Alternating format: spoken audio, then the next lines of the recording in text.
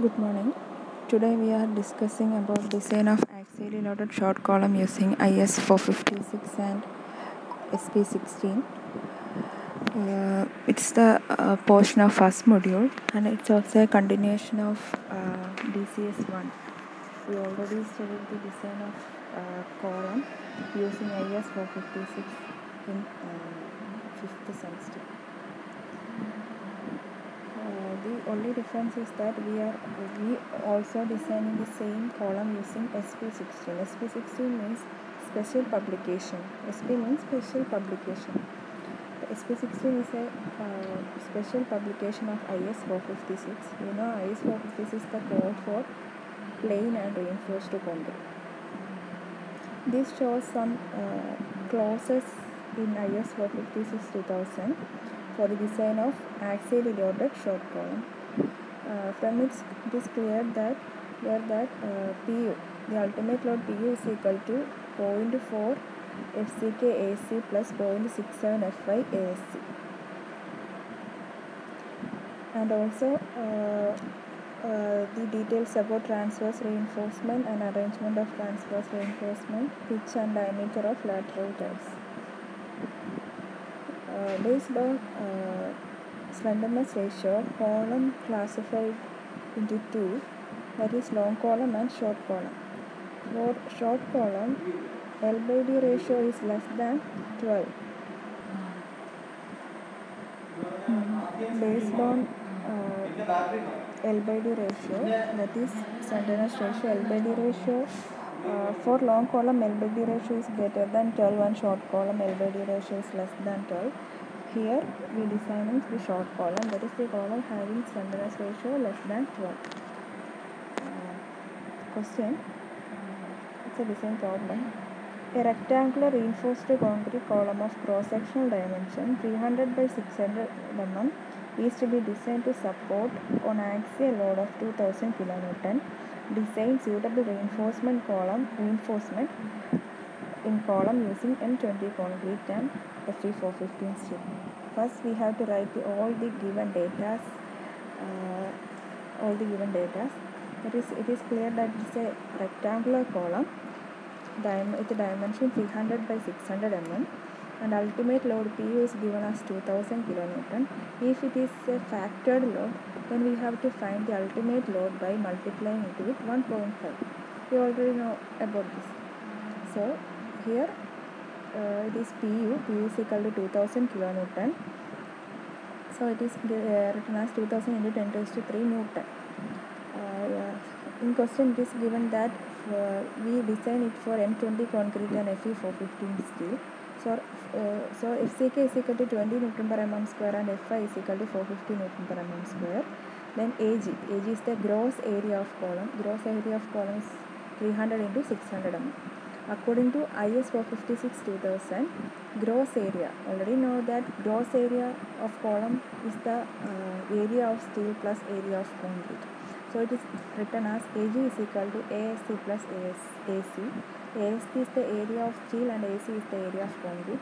From this equation, we write it as AC. AC is equal to AG minus AG minus ASC. So, from the above equation, P is equal to 0.4 FCK AC plus 0.67 FI ASC. Every, uh, we substitute the, all the given data in the equation. So, it is uh, written as 2000 into 10 raised to 3 is equal to 0.4 into FCK 20. Uh, AC is write, write, write as AG minus ASC plus F 0.67 into F. Fi is 415 into ASC. So from this equation we have to find we, we have to find uh, ASC and ASC is given as uh, ASC ASC is ASC is from the above equation ASC is equal to 2073.69 mm square. So by uh, the uh, so we also find out the find the AG uh, AC that, that is area of concrete uh, area of concrete is equal to AG minus ASC ASC is AC is uh, 2073 and 69 169 mm square uh, so we uh, got the value of area of steel that is AST value uh, as per IS 456 2000 the minimum area of steel for a column is 0.8 0.8 percentage of cross section area so we have to check the minimum cross minimum area of steel with the with the uh, value we got. That is uh, minimum area of steel 0.8 percentage of cross section area that is 0.8 by 100 into 300 into 600 we got it as uh, 1440 mm square. We get it as uh, uh, 20 2073 so it is safe. So we can use the uh, area of steel value as 2073.69 mm square. Now then we assume a uh, suitable diameter. We assume here 20 mm diameter bar. So by using the ASC value and uh, di- diameter value we assume find the number of bars. Number of bars is equal to ASC by Fi that is total area of steel divided by area of one bar. Uh, we get it as uh, 6.60 that is uh, equal to 7 we will be uh, always provide a, a even number. So uh, we take it as 8 bars. So provide 8 numbers of 20 mm diameter bars uh, as longitudinal reinforcement. We already know that column has two type of reinforcement longitudinal reinforcement and lateral ties. Uh, then next is the design of lateral ties. Lateral ties from the uh, clause we can, it is clear that lateral ties the spacing of lat transverse lateral ties is also transverse reinforcement. It's also uh, say it as transverse reinforcement.